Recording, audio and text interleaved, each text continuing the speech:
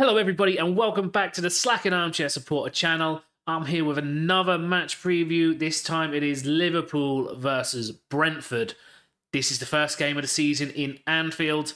That's going to be kicking off at about half past four on Sunday evening. I'll be here, I'll be live, I'll be watching it. Look out for this watch along thumbnail on YouTube. And feel free to tune in. Of course, everybody is welcome. Get in there. I'll keep you up to date with everything that's going on during the match. And feel free to get in the chat, have a conversation with me. I'm here to entertain and listen to your guys' opinions about football. So, this is going to be a match preview. If you're new to the channel, what I do is I go through how I think the game is going to go. Then I'll give you a little um, score prediction. And then I also give you a lineup prediction, how I think we will line up come the day. So, let's get into it.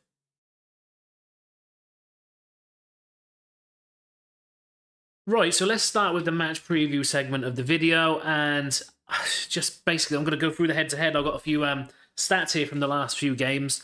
Um, of course, Brentford are quite a tricky customer when they first came up to the Premier League. I think the first game we played them was a 3-3 draw. It was a very good game, end-to-end stuff. I remember being on the edge of my seat for it, and it ended in a draw. We were probably lucky to get the draw, but they just always seem to be quite difficult. Now, last season is a different story. We sort of dominated them. We'd done the double over them. Um, the first game was actually in Anfield. That was on Sunday, the 12th of November. And we won 3 0. Salah scored twice, Jota scored another we weren't really convincing, um, and Brentford did have quite a few good chances, but we just took ours, and well, Alisson made a couple of really good saves in that game as well. And then in the other game last season, that was Saturday the 17th of February. This was then at the Gtech um, Stadium, um, Brentford's ground, and that was a 4 1 win. And I remember this game. This is the game where Nunez scored that ridiculous chip, if you remember it. Um, Jota plays him through, and he's just lifted it over the keeper from the edge of the penalty area. Really well taken goal by Nunez. Um, and then also Mac Allister, Salah, and Gakpo scored in that game. Toney scored for Brentford. And even in that game, it it was more of a sense that Brentford were just not clicking. Um, but obviously happy to do the double over them. It's it was a nice six points. They're off the back of a win against Crystal Palace. That was a 2 1 win on the first day of this season admittedly, they were quite lucky. Uh, Eze's goal probably should have stood from that free kick. So whether that would have changed the game, whether it would have been a draw, maybe Crystal Palace kick on and get three points, I don't know. But Brentford with three points on the board, that's what they're looking for. That's what they do. They upset teams, they frustrate teams, and then they've got the likes of Toney and Mbeumo, who are clinical goal scorers, and they can damage teams and I'm expecting the exact same thing from them again against Liverpool.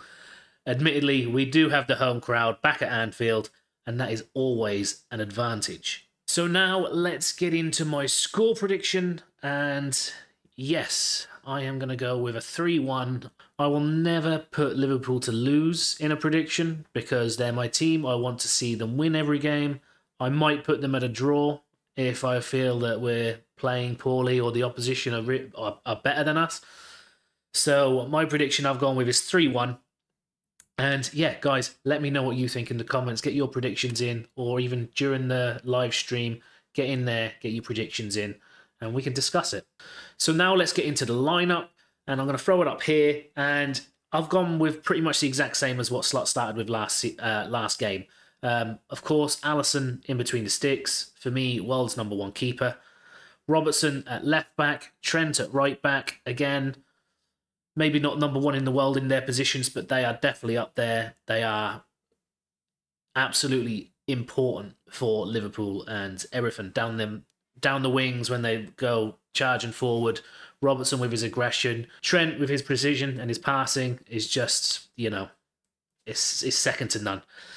Um, this is where I've made the change now at the centre back pairing. Of course, Van Dijk starts. He's the captain. I think if he's fit, he's starting every game, um, unless he does something horrible in training or takes an injury or something that Slot doesn't like. Then he's going to be starting every game. And I've gone with Konate, and this is just because we've seen that substitution. I mean, of course, I do like Quansah. I think he has got the capability of partnering Van Dijk.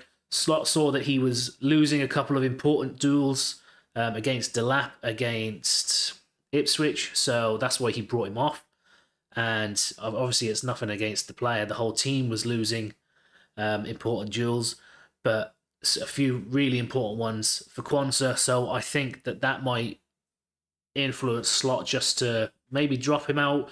Um, also, Slot did mention in his press conference that he has picked up a little knock, I think, on Tuesday. So he didn't um, train on Wednesday. So that could also play into it. So that's why I've slotted in Konate. But that's a good replacement, really. Konate coming in. Then in the double pivot, I've got Gravenberg and Mac Allister. Of course, we've seen Gravenberg last game playing in that number six.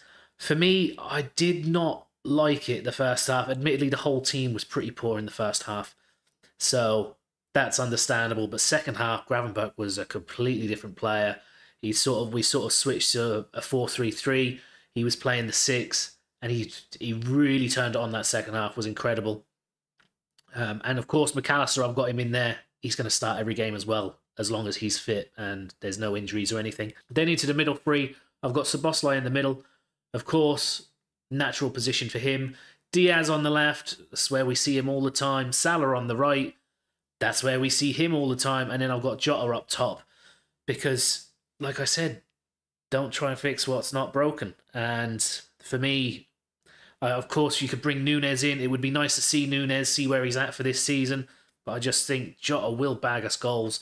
Salah as well. And they had their chance last week. They provided, so you can't really drop them. So it's going to be tough now for Gakpo and Nunez, for instance, to try and break into that.